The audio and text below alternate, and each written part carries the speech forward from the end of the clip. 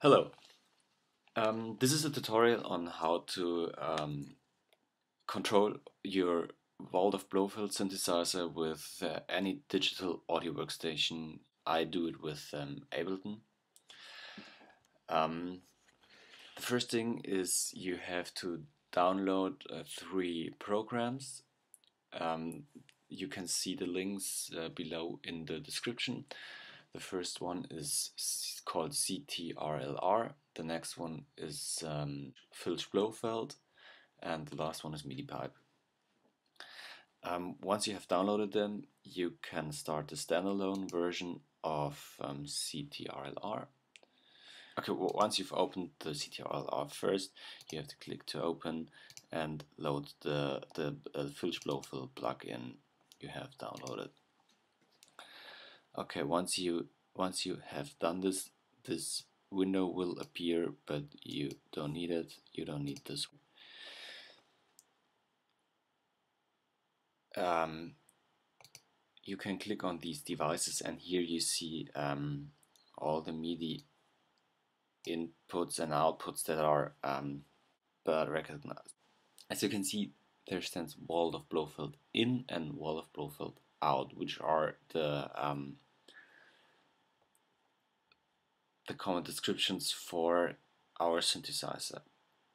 This uh, Filch Blofeld will not work with this um, in and out here. So we need, this is where the, the MIDI pipe comes in. We need to forward the signal from Waldorf Blofeld in to a virtual instrument called only called Waldorf Blofeld. And this virtual MIDI uh, Waldorf Blofeld will be forwarded to Waldorf Blofeld or something like that. But I will show you how to set up the MIDI pipe. Okay, you start the MIDI pipe. My one I, I already created two files, but I will do some new one that you can see.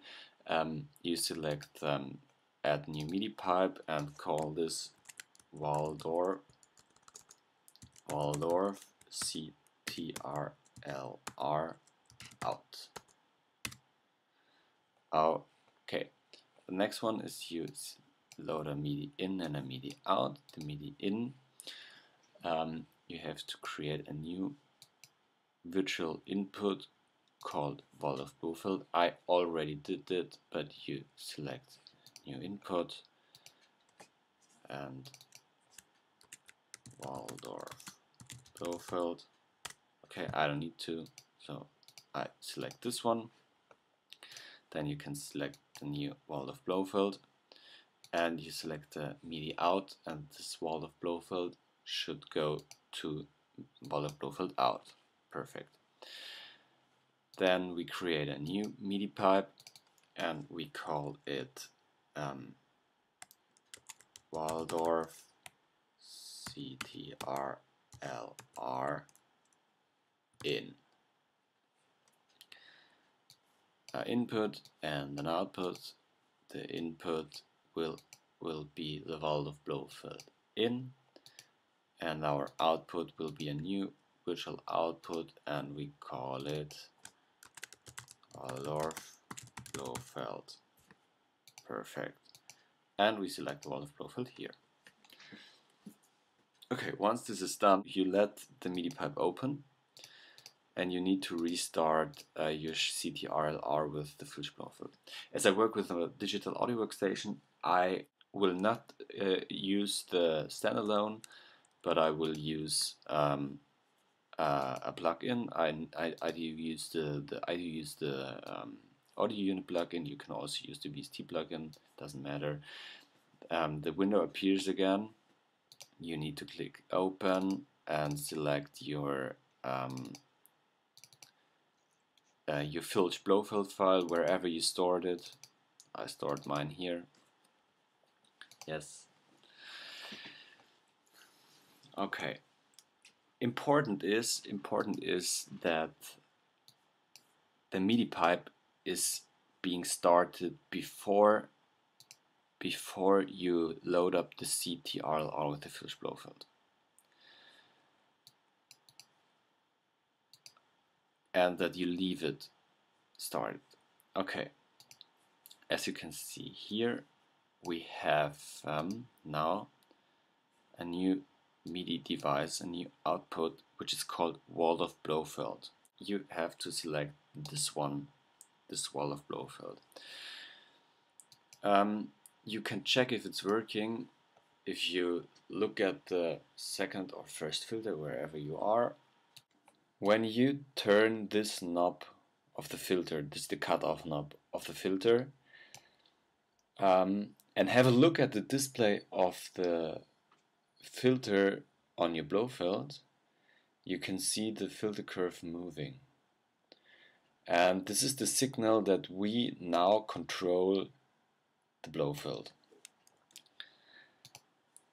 Um, I will now rename this track in control because there will there will there will be no sound on this track so we can uh, switch it off and um, to get some sound um, we do need to load an external instrument and set it up um, we select the wall Waldorf Blofeld out here which is the normal um, routing to our Blofeld and there we select the input okay I loaded up a little MIDI track here. You can listen to it. Yeah, this is the this is the sound of the Blofeld, and um, when I go to CTRLR now, you can see that I can control the filter.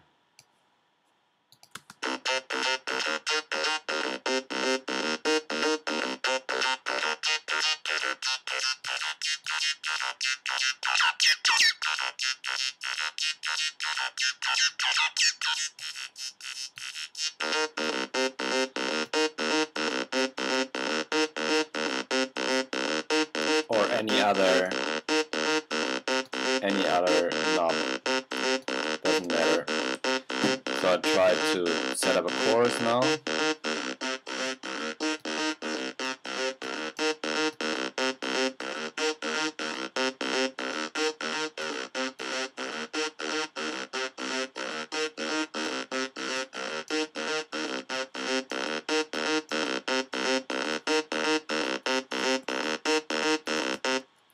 Okay, as you can see, this is the track where the sound comes from, and this is the track where we can control or automate our uh, our Waldorf Blofeld. And uh, to get it uh, properly automated, we have to um, to configure the buttons we want to automate. So we click on that configure button here, and then we we um, select the buttons we want to control. I don't know why this resonance is not working. This one from filter 1 is working. This drive is not working. Well,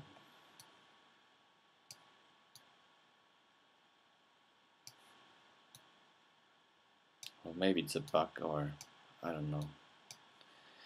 Okay, doesn't matter. We have enough buttons that we can control now. I take the filter 2 curve now. And we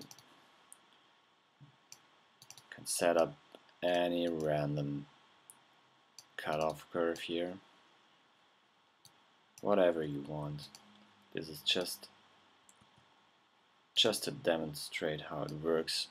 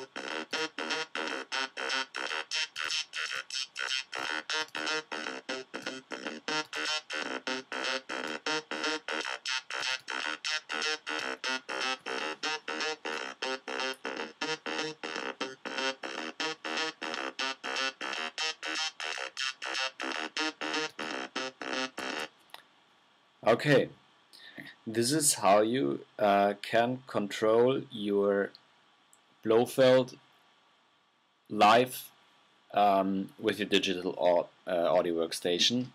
Uh, for me, it works fine. I hope um, I could help you a little, and uh, I hope you enjoyed this tutorial. And um, if anyone finds out, please let me know if this also works on a Windows computer.